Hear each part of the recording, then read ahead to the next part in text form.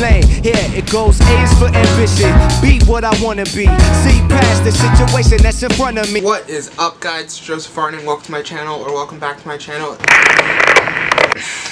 If, as you know, if you've been watching any other video on my channel, you know I like to do a lot of painting videos. So I'm to be doing another one today, but to, but this time I'm to be painting a tiny Bic lighter. And if you've owned a Bic lighter, you know for sure you've never actually bought one. Like, they just turn up, I bet you people probably steal them, and then you steal them from the people that stole them, and it's just a constant cycle of people stealing lighters. So I decided that since I have an unusual amount of lighters just hanging out, I might as well just put a cool design on it and paint it. So if you want to see me do that, feel free to stick around and watch the rest of this video.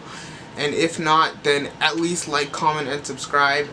And go watch some of my other videos that you might like. If you don't like any of them, then you can just follow me on Instagram.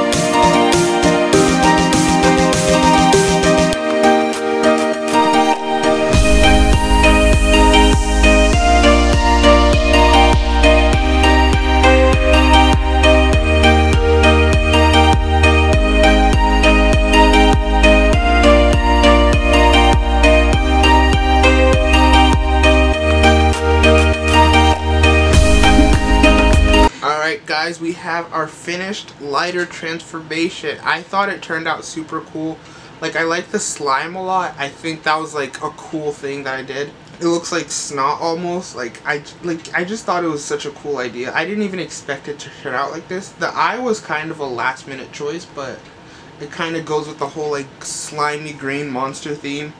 And if you want to see me do more painting on lighter videos, let me know in the comments. You know, thank you so much for watching, and I will see you guys in the next video. The irony is they inspire me to love them. G is past go when ignite the cash flow. When H is put your heart in whatever's your last hope.